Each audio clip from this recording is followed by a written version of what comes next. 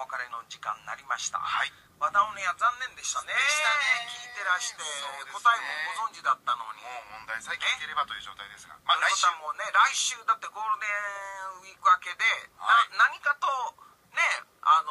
の散財された方にチャンスですよ。はい1万円がお二方に当たります。聞いてるだけでいいのにね。そうなんですよ。クイズを出題する時間まで我々もしっかり指定してるんですけど。はい。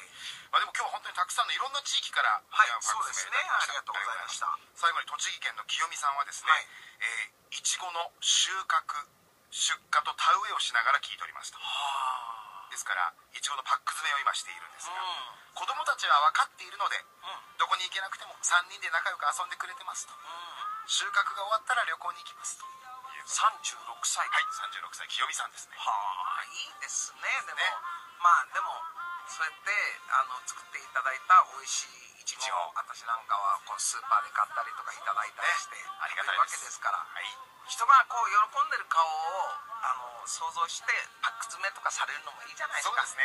ね。え、でもご自愛ください。はい。